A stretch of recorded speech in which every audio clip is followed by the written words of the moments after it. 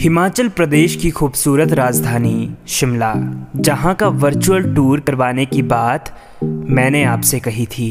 बहुत सी लोकेशंस के बारे में इंफॉर्मेशन देते हुए आज मैं आपको शिमला के आईजीएमसी के बारे में बताऊँगा। शिमला का आईजीएमसी यानी इंदिरा गांधी मेडिकल कॉलेज, जो कि मेडिकल कॉलेज होने के साथ साथ हिमाचल के टॉप हॉस्पिटल्स में से एक है। हज़ारों मरीज़ हर दिन यहाँ से ठीक होकर जाते हैं।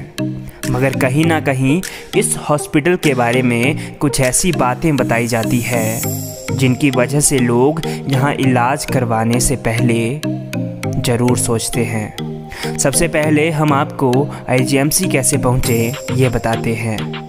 आईजीएमसी हॉस्पिटल दरिज से कुछ ही आगे है। आईजीएमसी आने के लिए आप लक्कड़ बाज़ार, बस स्टैंड, संजौली और मॉल रोड से आ सकते हैं। मॉल रोड में व्हीकल्स अलाउड नहीं है, इसलिए आपको यहाँ से पैदल ही आना पड़ेगा।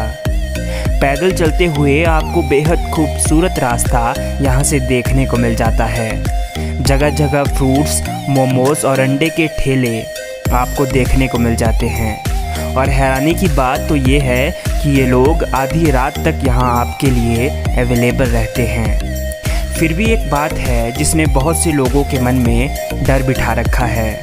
बहुत सी यूट्यूब वीडियोस कहती है कि आईजीएमसी शिमला हॉन्टेड है, यानी भूतिया। कहा जाता है कि अक्सर देर रात को लिफ्ट यहाँ फंस जाती है लाइट्स फ्लक्चुएट होती है और यहाँ एक ब्रिटिश नर्स दिखाई देती है। हॉस्पिटल के अंदर मरीजों को अकेले में ऐसा लगता है जैसे उनके पास कोई बैठा है। दरअसल, ये सारी बातें झूठ है। उन वीडियोस पर लाखों व्यूज़ भरे पड़े हैं और उन क्रिएटर्स का मेन मकसद यही है कि व्यूज़ कैसे लाए जाए। कोई मरीज़ अपनी बीमारी से मरे या ना मरे, पर उनकी वीडियोस देखने के बाद ज़रूर मर सकता है।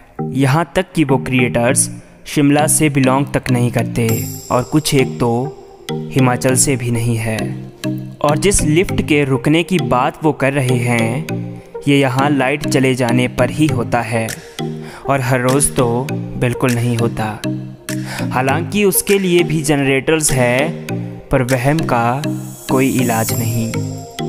बात करें आईजीएमसी शिमला की हिस्ट्री की तो ये 1966 1966 में अस्तित्व में आया था, जो कि बहुत पुराना नहीं है।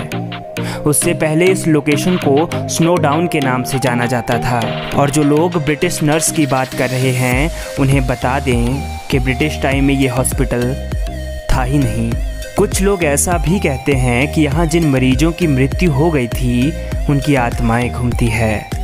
अगर ऐसा है तो हर बड़ा हॉस्पिटल हॉन्टेड होना ही चाहिए, क्योंकि मृत्यु तो लगभग हर हॉस्पिटल में होती है।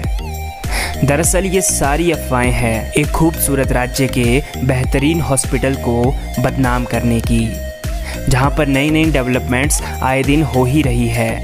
कृपया गलत मैसेज ना फैलाएँ, क्योंकि ये बहुत से लोगों के मन में वहम पैदा कर देता है, और मैंने पहले भी कहा था वहम का कोई इलाज नहीं होता।